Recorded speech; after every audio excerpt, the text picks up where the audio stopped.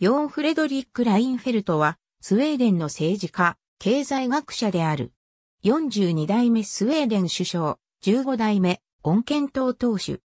2006年9月17日のスウェーデン議会総選挙に恩恵党を中心とするスウェーデンのための連合王と名付けられた中道右派連合が勝利した。ラインフェルト首相と福田康夫内閣総理大臣1965年8月4日、ストックホルム郊外に中小企業を経営する両親の間に生まれる。1983年恩検討青年連盟に入る。1990年ストックホルム大学経済学部を卒業する。1991年26歳でスウェーデン議会総選挙に恩検討から立候補し、当選する。以後、スウェーデン政界にあって、右派のホープとして将来を嘱望されてきた。この選挙では恩検討を中心とする中道右派連合が躍進し、カール・ビルト党首が主犯となって連立政権を樹立している。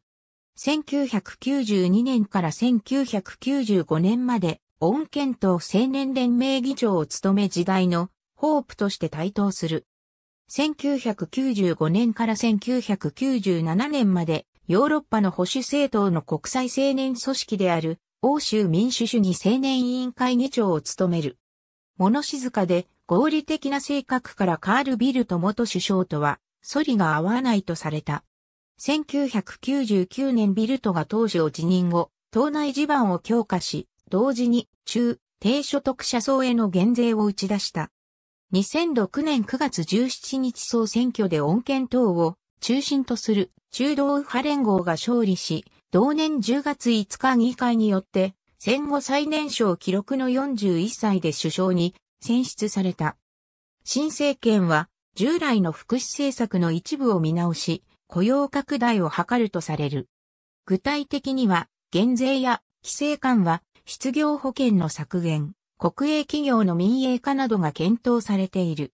また、ユーロへの参加については、今後4年間は国民投票を見送る一方で、NATO に関しては中立の伝統を出して加盟を目指すとしている。2009年7月から12月まで欧州理事会の議長を務めた。